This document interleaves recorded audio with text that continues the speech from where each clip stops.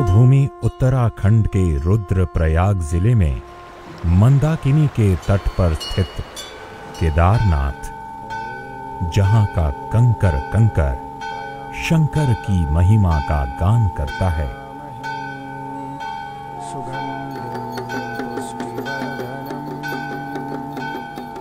जहाँ की वायु में अध्यात्म है, जो युगों युगों से मानव की आस्था का केंद्र रहा है।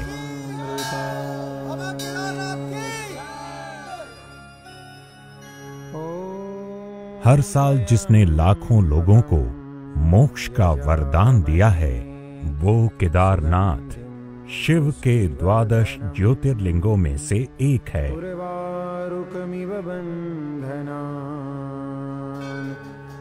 पौराणिक आख्यान के अनुसार ये मंदिर महाभारत काल में बनाया गया।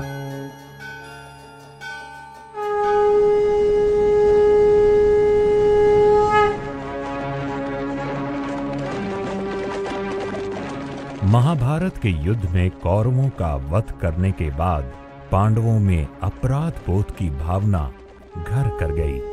ऐसे में श्री कृष्ण ने उन्हें भगवान शंकर की शरण में हिमालय जाने को कहा।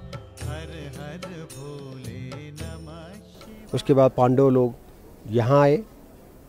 यहाँ आने के बाद उन्होंने देखा, कोई जीव जंतु कुछ भी नहीं था। लेकिन कुछ भैंस उनको दिखाई दिए। पांडवों के समझ में आया नहीं कि अब शिव जी का दर्शन हमें कहाँ से होगा। तब उनको ज्ञान हुआ, हमारे शिव जी का एक दूसरा नाम पशुपति नाथ भी है। तो उन्होंने सोचा, हो सकता है कि शिव जी इन पशुओं में होगा जो भैंस थे वहाँ पर। तो उस भैंस को उन्होंने स्पर्श करने लग गए। एक भैंस उसको, उनको स्पर्श करने नहीं दिया। तब उन्होंने सोचा कि यही भगवान भोलेनाथ है। ये सोच करके उसको पकड़ने के लिए दौड़ पड़े। भैंस आगे दौड़ता रहा और पांडव लोग पीछे दौड़ते रहे।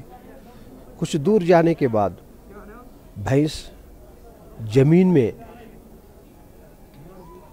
घुसने लग गया। तब तक पांडवों ने जा कर के भैंस के जो पिछले भाग है, पृष्ठ भाग है, उसको स्पर्श कर लिया। स्पर्श करते ही शिव जी उनको ज्योतिर्लिंग रूप में पांडवों को दर्शन दिया। है शिव जी ने पांडवों की दृढ़ इच्छा शक्ति देखते हुए उन्हें समस्त पापों से मुक्त कर दिया। इस बीच भैंसे का सिर नेपाल के काठमांडू के पशुपतिनाथ में निकला।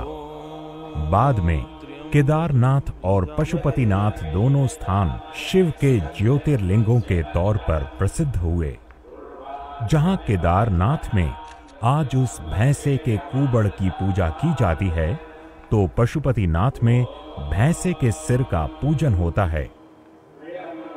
केदारनाथ मंदिर के कपाट अक्षय तृतीया से लेकर दीपावली के बाद भैया दूज तक के लिए खुलते हैं और फिर वर्ष के अन्य भाग के लिए प्रतिकूल मौसम के कारण बंद कर दिए जाते हैं।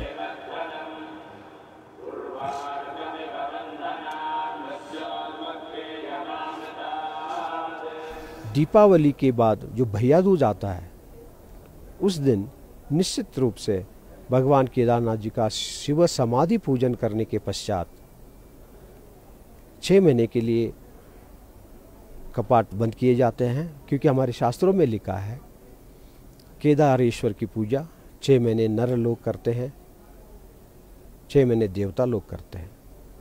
इसलिए ये विधान है, केदारनाथी का शिवालय छः महीने खुला रहता है छः महीने देवताओं के लिए पूजा करने के लिए छोड़ दिया जाता है।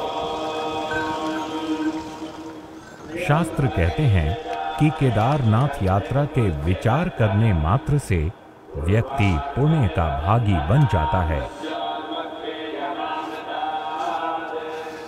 इसके बारे में लिखा है कि ये बदन केदारम गमिष्यामी इति क्वचित। मैंने जिसने घर में बैठे बैठे भी कहा कि मैं केदारनाथ की यात्रा करूँगा करूँगा और किसी कारण बस नहीं कर पाता। तो देवेशी पितरस्ते शाम शंकर जी कहते हैं, देवी पार्वती, उसने घर में कहा था कि मैं जाऊँगा, नहीं जा पाया। उसका भी उद्धार हो जाता है। सन 2013 में आई प्रलयकारी बाढ़ ने केदारनाथ सहित पूरी घाटी को तहस नहस करके रख दिया। केवल मनुष्य ही नहीं, हर जीव जंतु इससे प्रभावित हुआ। पर ये मंदिर उस भीषण आपदा के बीच भी अचल, अडिग खड़ा रहा। उस विनाशकारी प्रलय के दो साल बाद आज इस मंदिर के आसपास के क्षेत्र को फिर से विकसित किया जा रहा है, जिससे आने वाले वर्षों में ये यात्रा और भी सुरक्षित व सरल बनाई जा सके। केदारनाथ में उत्तराखंड के लोगों की इच्छा शक्ति का प्रतीक है, जो बदलाव आया है, जो कुछ कर सके हैं। और एक साल में आप और बड़ा बदलाव देखेंगे और 2017 तक आप ये देखेंगे कि पूरे अद्भुत रूप में भगवान शिव जो है, सुंदरतम रूप में यहाँ आपको दिखाई देंगे। शासन, सेना और स्थानीय लोगों के संयुक्त प्रयासों से केदार घाटी की यात्रा और सरल और सुरक्षित हो रही है।